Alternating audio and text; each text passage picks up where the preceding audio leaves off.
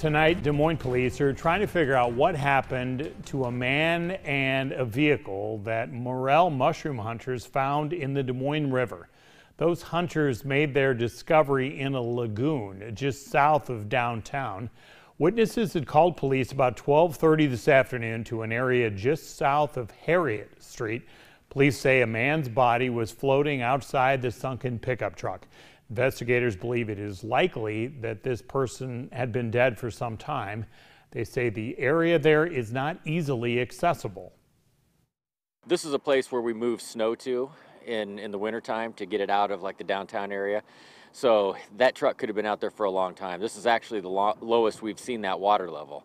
Um, the fire department was telling me there's times when they can actually access that lagoon from the river. The water gets so high. So um, it's been submerged for quite some time. It's going to take us a little while to figure out exactly how it got there and, and who it is.